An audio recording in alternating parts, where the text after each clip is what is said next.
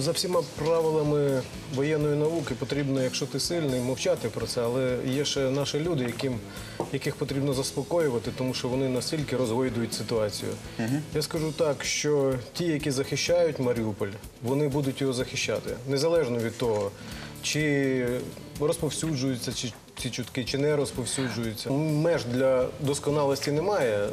Всі споруди, ті, що на передньому краї, і, ну, скажімо, декілька ешелонів, не буду казати скільки, вони готові на 95%.